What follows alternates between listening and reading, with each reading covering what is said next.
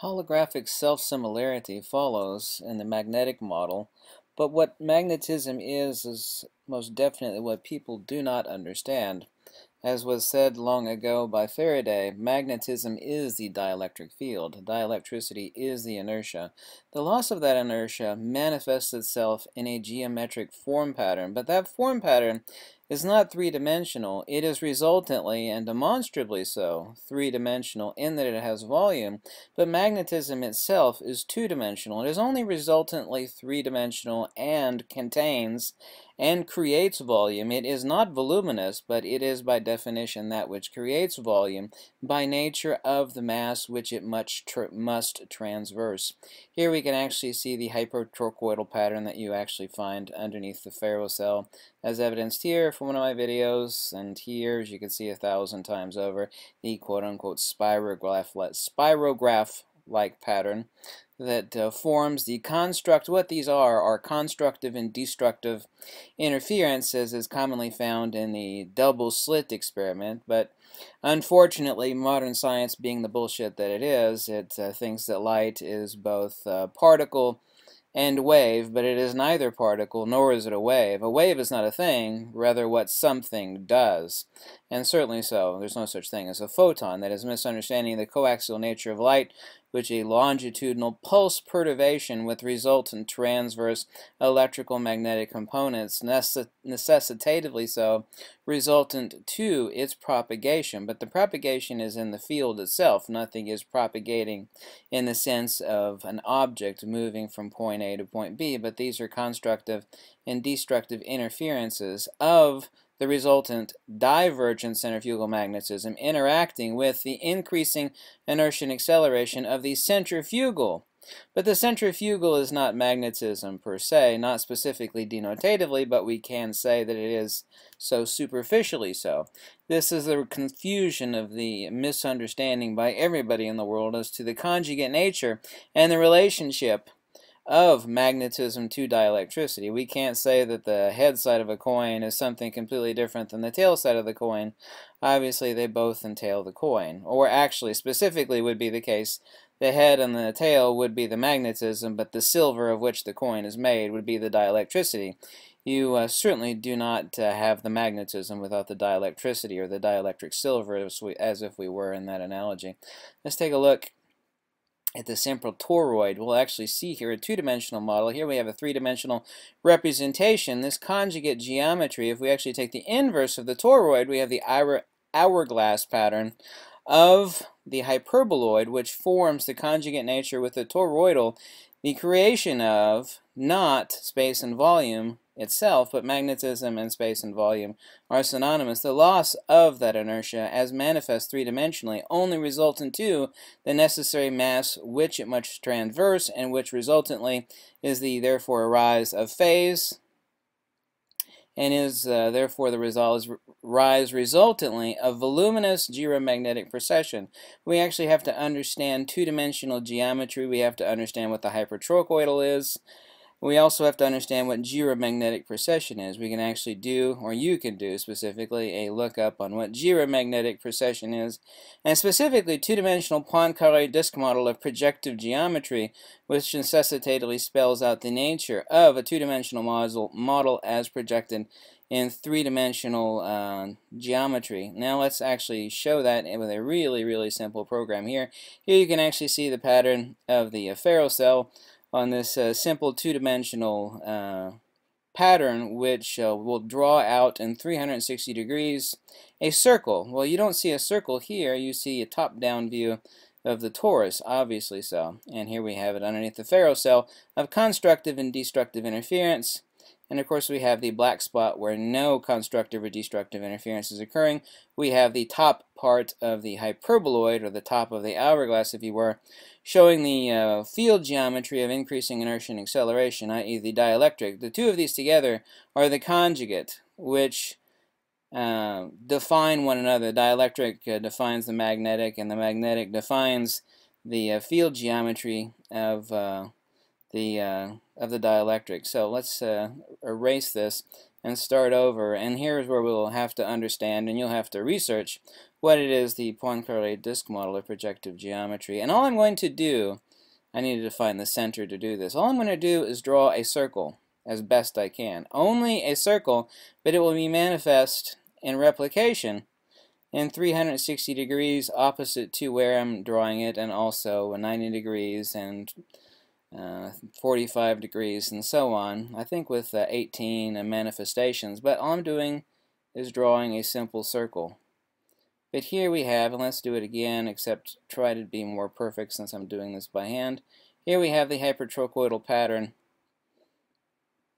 which shows the magnetic circle. The only way the loss of inertia manifests itself is the manifestation of a circle. It's a two-dimensional circle.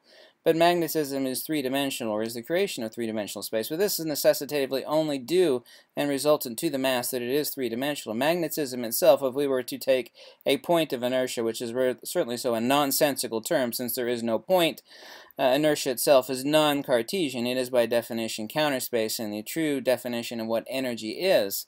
But if we were to take a single point and uh, apply the, uh, the loss of that inertia, which follows uh, 1 over 5 to the power of negative 3, we will see what we have is actually just a two-dimensional circle where the loss of pure potential is Cartesianally manifest in a circle and replicated here in fullness you'll actually see we actually have what appears to be a three-dimensional top-down torus.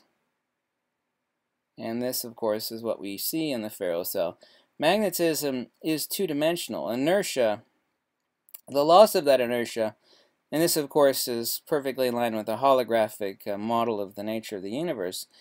Um, magnetism is only three-dimensional resultant to the nature of the mass by which it must, if coherent, reciprocate itself to termination. Really, it is an expanding circle. Not Nothing is moving like my cursor is currently, moving outwards as you see my cursor is moving. We actually have, technically, I could draw this uh, same uh, uh, two-dimensional geometry by showing an increasing circle going from an infinitesimally small uh, point will actually be a counterpoint in counter space to a larger and larger and larger and larger and larger circle. So that would actually be, according to the geometry of the nature of magnetism, the way in which I would, quote, draw the loss of inertia would be an increasing circle instead of a point moving out and then moving back again, kind of like a comet going around the sun. It would just be an increasing circle and then a decreasing one. Upon termination, nothing is uh, emitted by the loss of that inertia